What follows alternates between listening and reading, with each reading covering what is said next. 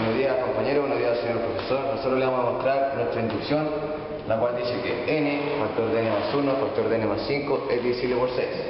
Demostramos válido para n igual a 1. n, factor de n más 1, factor de n más 5, va a ser igual a 1, factor de 2, factor de 6. 1 por 2 por 6 va a ser igual a 12. Por lo tanto, 12 es divisible por 6, por lo tanto es válido. Demostramos ahora para n igual a k.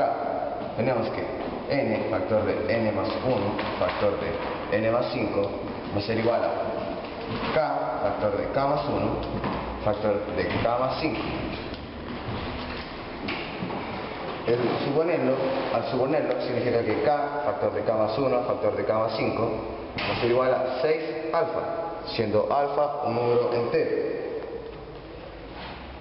Esta va a ser si al desarrollar este polinomio tenemos que k cubo, k cubo más 6k cuadrado más 5k va a ser igual a 6 alfa. Y esta va a ser nuestra hipótesis inductiva. Demostramos varios ahora para n igual a k más 1. Tengo n, factor de n más 1, factor de n más 5, va a ser igual a k más 1, k más 1, factor de k más 2, factor de k más 6. Eso va a ser igual a 6 y gamma, siendo gamma un número entero.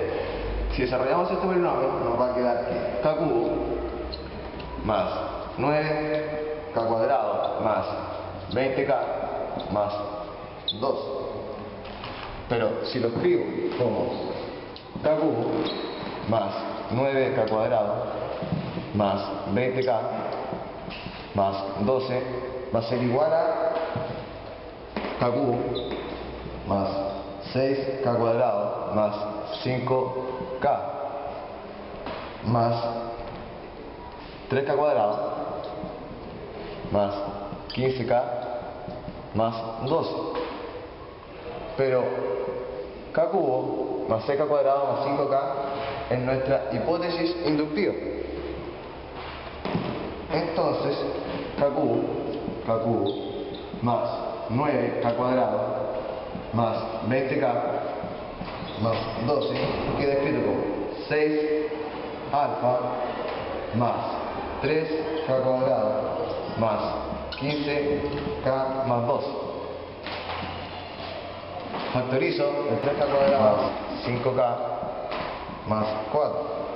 Entonces, k cubo más 9k cuadrado más 20k más 12 se escribe como 6 alfa más 3 factor de k cuadrado más 5k más 4, ¿cierto? Eso ahí tenemos que divisible por 3. Pero para llegar a 6 tenemos que demostrar ahora que k cuadrado más 5k más 4, ahí, es divisible ahora por 2 para demostrar lo que sería nuestra inducción completa. Entonces tenemos que eso va a ser válido para n, perdón, para k igual a 1. Tenemos que k cuadrado. Más 5 más 5k más 5k más 4 va a ser igual. A 1 cuadrado más 5 por 1 más 4 1 más 5 más 4 esto va a ser igual a 10 es divisible por 2 por lo tanto es válido.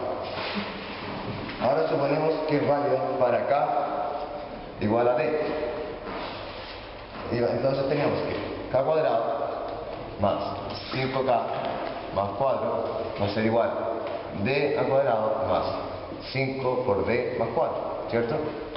d cuadrado más 5d más 4.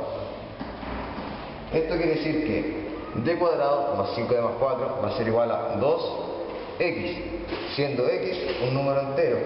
Y esta va a ser nuestra segunda hipótesis inductiva. Ahora vamos a demostrar válido para acá igual a d más 1. tenemos que k cuadrado más 5k más 4 va a ser igual d más 1 al cuadrado más 5 factor de d más 1 más 4, ¿cierto? Si desarrollo el polinomio, me va a quedar que d cuadrado más 2d más 1 más 5d más 5 más 4. Si lo reordeno, me va a quedar que d cuadrado más 5d más 4 más 2d más 6. Pero d cuadrado más 5d más 4 es nuestra hipótesis inductiva. Por lo tanto, vamos acá, tengo que d más 1 al cuadrado más 5 factor de d más 1 2x más 2d más 6 si esto lo factorizo por 2 me va a dar que 2 factor de x más d más 3 por lo tanto hemos demostrado que k cuadrado más 5k más 4 es divisible por 2 por lo tanto n, factor de n más 1, factor de n más 5, es divisible por 6. Es divisible por 6.